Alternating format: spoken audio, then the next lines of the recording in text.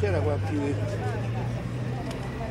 Incontriamo Franco Giacomelli che su Libre TV ormai vediamo spesso e ci parla di Ostia e invece questa volta non ci parlerà di Ostia, quindi questo già di per sé è uno scoop. Salve a tutti. E dunque, ehm, tutta questa eh, manifestazione mi ricorda il 1987, quando abbiamo fatto quella campagna, noi radicali, abbiamo fatto la campagna Rai TV non ti pago più.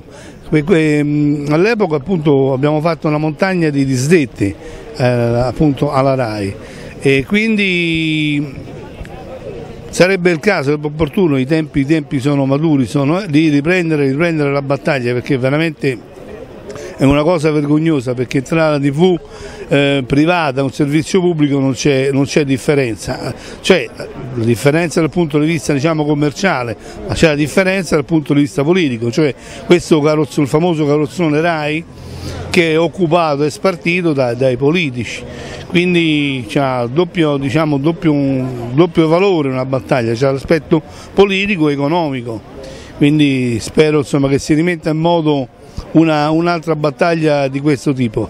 Franco, secondo te a occhio e croce il cavallo da Rai al- sul pontile ci starebbe oppure sulla rotonda? Beh, be- bella questa, sì. Eh, il, bel cavallo, qui il famoso cavallo, lo vedo proprio al pontile di Ossa, sul giardino in mezzo, mezzo al prato e eh, lo chiameremo il cavallo marino. In mezzo ai due varchi. Grazie a Franco Giacomelli.